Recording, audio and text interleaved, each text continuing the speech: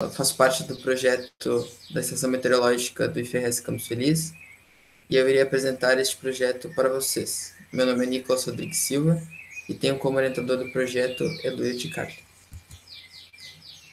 O projeto trata-se de um estudo de temas ligados às áreas da ciência e da tecnologia. Também é uma forma de apresentar a ciência e a tecnologia uh, mais praticamente e didaticamente. Com isso, a gente quer despertar o interesse dos estudantes pelas ciências e tecnologias, através do estudo dos fenômenos climáticos.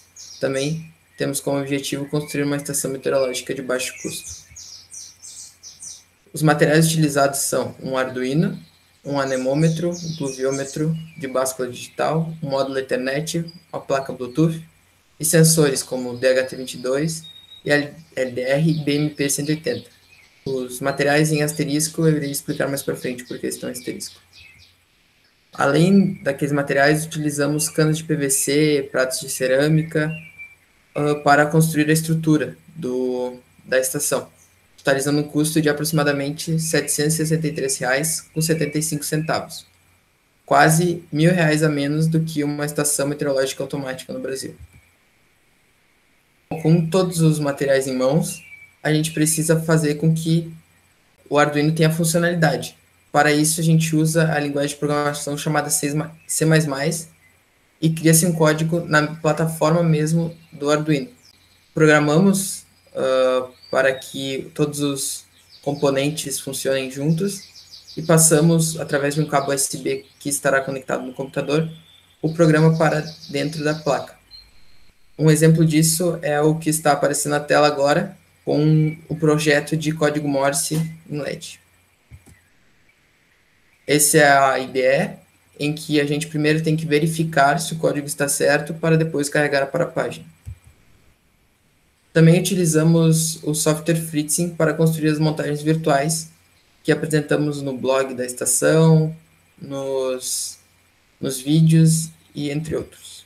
O projeto foi criado em 2016 de uma forma mais básica, e em 2017 foram incorporados um pluviômetro de báscula digital, um anemômetro e a montagem de sua estrutura.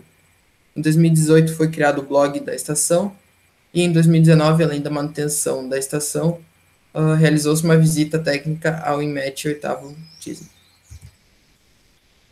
Atualmente, em 2020, por causa da pandemia do coronavírus, as reuniões estão sendo feitas pela internet e estamos fazendo os projetos individualmente.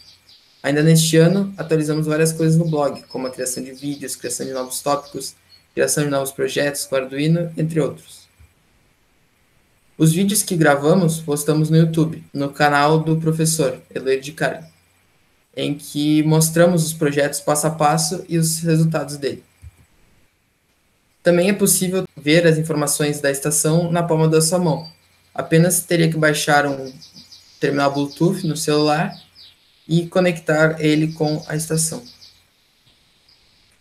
O blog da estação está aí o link e é nele que colocamos a, a maioria das, dos projetos que fazemos. Esta é a estação montada, mas atualmente nós não podemos fazer ela por causa que não conseguimos ir no campus. Então, fizemos uma estação caseira, que o, o segundo autor deste projeto irá apresentar também para vocês em um outro trabalho. Essas são as referências. E obrigado pela sua atenção.